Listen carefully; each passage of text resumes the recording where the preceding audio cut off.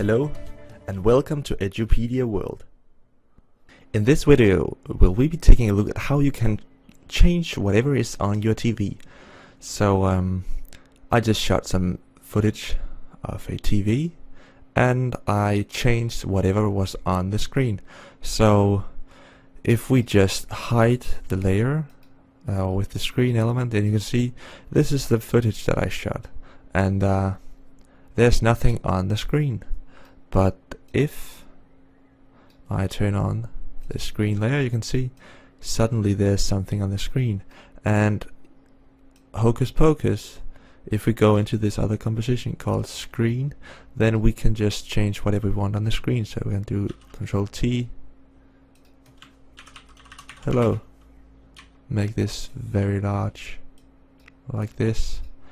And when we are back in our other composition you can see there's something new on the screen. It says hello. So um how did we do this? How did I do this? Well, I started off with a 3D track and then I added a plane on the screen and changed whatever was on the plane. So um I will show you how you can do that. First you need to start off with some footage and uh, this is the footage that I'll be working with, so drop it onto the new composition button and keep it organized, so call it footage. There we go. Let's just, I think this is fine to work with. So um, remember I told you that I will show you how you can um, get a better track. So um, as you can see this video actually doesn't have that much uh, to track. There's a big white wall right here and it's not going to be able to track anything of all the white. Also this lamp, it won't be able to track any of that. It won't be able to track much of the floor, much of this table, much of this uh, black sofa and uh, there's basically just not much for the tracker to track. Also the screen here, it's it's reflecting stuff and uh, those reflections they can be tracked but they are actually pretty hard. So uh, this is actually a not that easy shot to track and uh, you also see that with the average error that we will get. So um, since the tracker is looking at different points small points uh, with a lot of contrast um, we can actually increase the contrast um, in the image to make it easier for the tracker to pick out points so we can do that by adding adding a, an effect before we do the tracking. So we can take this effect called sharpen and then just add it onto the layer and just crank that up. You can see well if I crank it up to a thousand then it gets very uh, outlined and stuff. But if you just put it to something like let's say 90 then it just makes it so that everything is more pronounced. There's a lot of contrast, you can even turn it off you get a lot of contrast, dark lines around the edges, and uh, this is just much nicer for the tracker to work with.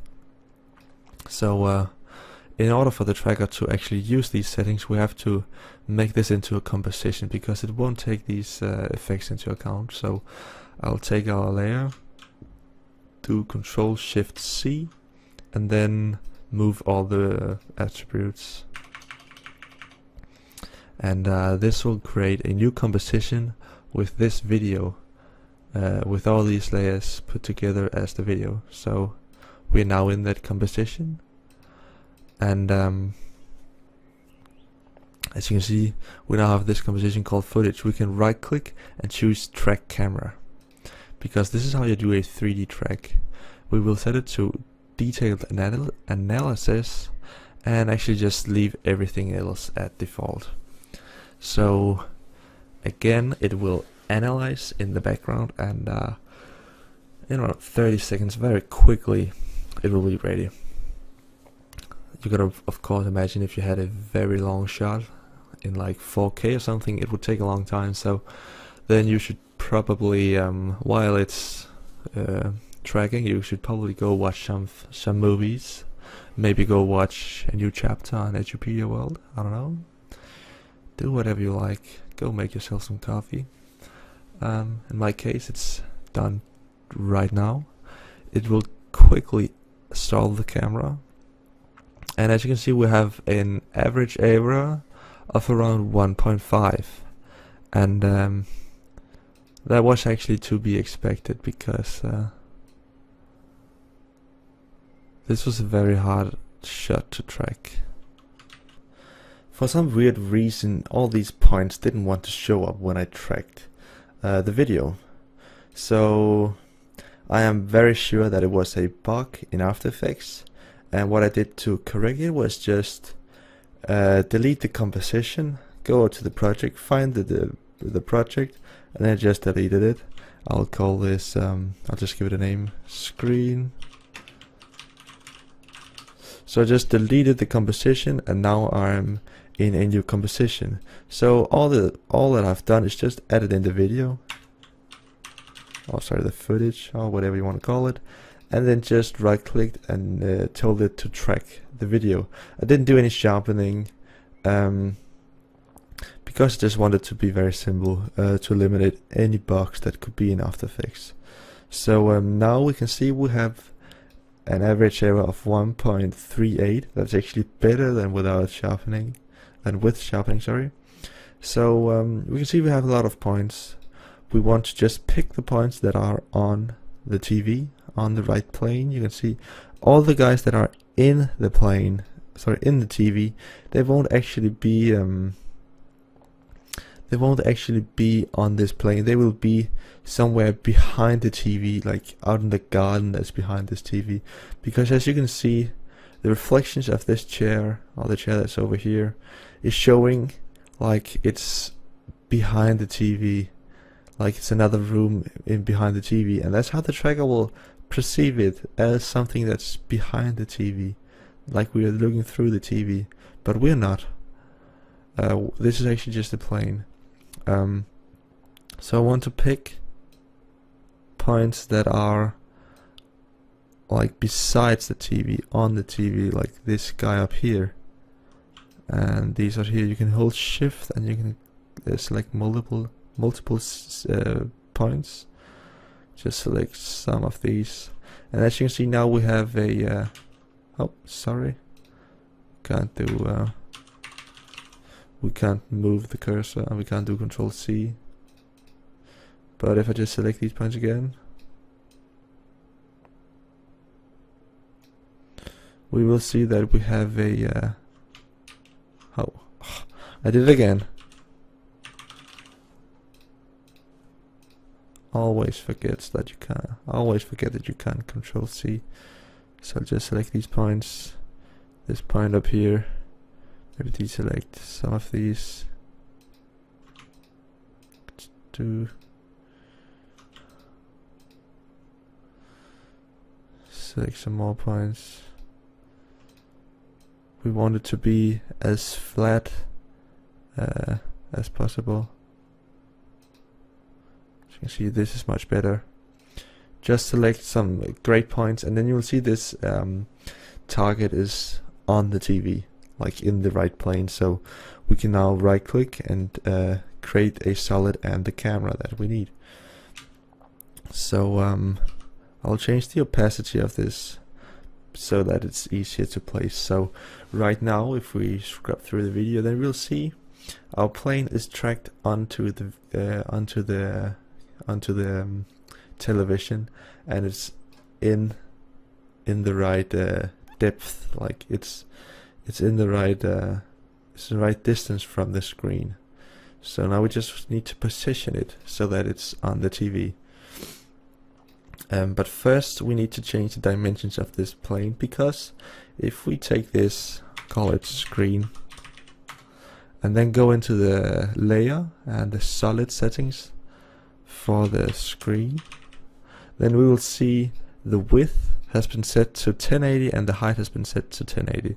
But this uh, television is actually not 1 by 1 aspect ratio, it's 16 by 9. So I'll just type in 1920, which is full HD. And as you can see, it's now the right dimensions, uh, like the um, television. So this pink color is actually pretty nice when you need to align this. because it's easy to see where uh, where the box, oh sorry, this plane is. So I'll just start moving it around, looking from all different angles, seeing if I've put it off axis, and I have. So I'll just move it forward a bit. I'll actually undo all of this, and first, before I do anything, start by getting it in roughly the correct rotation. So try and line up the green line with the line of the TV. And then when that's done, use the x-axis to try and line up the blue.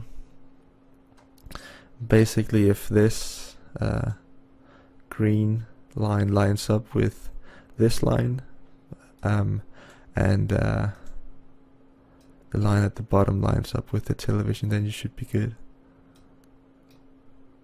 so that's done by rotating this way and then uh, think we're in the right perspective. Press V to start moving it around.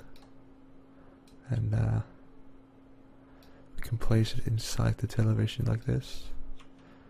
Now we can do some fine adjustments to uh, the Z axis, the blue axis. And uh, we may want to change the scale, just scale it down just a very bit, just a little bit like that. And uh, now it fits in the frame quite alright. We can move through the video and see how it how it is in the end. In the end we can actually see that the x-axis hasn't been aligned perfectly.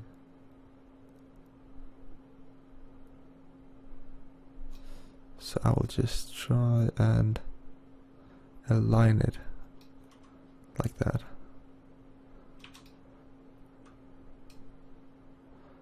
There we go. Um, as we can see, right in this frame, uh, it looks quite alright. It fits pretty alright into the frame. May want to scale up to maybe 99, maybe 100, like that. Um, so it looks alright here, but then when we get to the side, it's all, uh, it's not right. So we will have to create some uh, keyframes to move it around and it's a bit uh, I won't call it cheating but it's not it would be best if it would fit uh, off the bat but uh, since this is a very hard track because of the lack of um, uh, information to track then we are gonna have to do this. So I'll just put in a few keyframes just move along see when uh,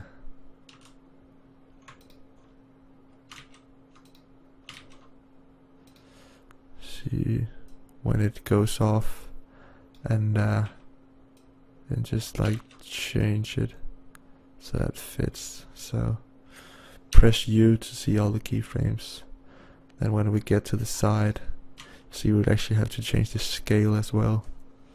Um, put it put it to non-uniform.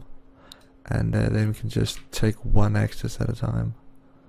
Maybe take this in a bit. And move it over like that. Go to the start and then put this to 100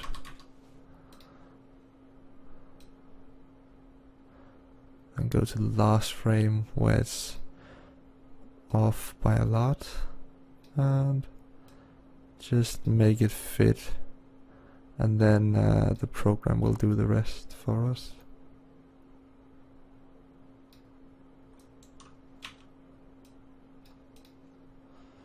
And uh, this should actually do it now. Now this uh, fits the that screen pretty alright just turn off the audio. And as you can see this this follows the screen nicely. It, th this actually follows the screen nicer than in my example. So it's pretty good. We now want to um, actually put something on the screen. So uh, to do that, we need to pre-compose it, put it into another uh, composition where we can change what's on it. So I'll call this screen image, and then instead of saying move all attributes, we want to leave them all, so we don't get this um, layer with the 3D position. We only want like the solid. So you can see what that does.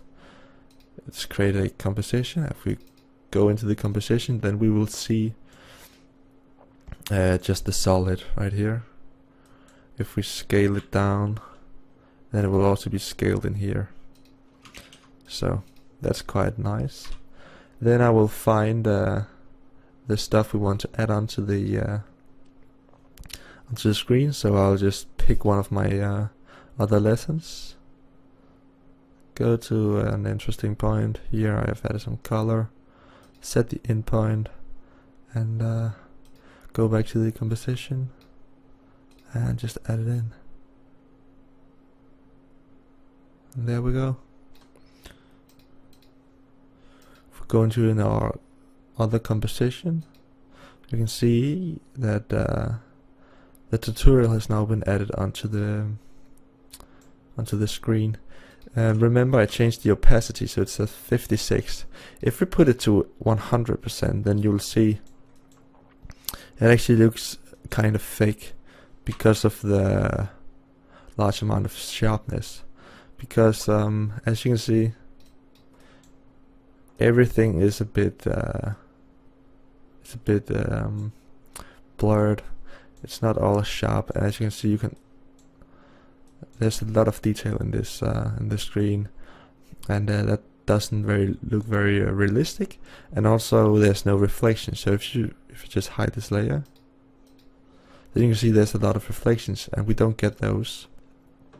So let's first uh, fix the problem with uh, the reflections. It's actually very easy, just change the blending mode from normal to screen. That will add in all the reflection reflections, as you can see now. They are just being added on top. And then uh, to make it all look a bit more blurred, we'll just add a fast blur with like 2 pixels or something. Maybe 5. And there we go. We are now done.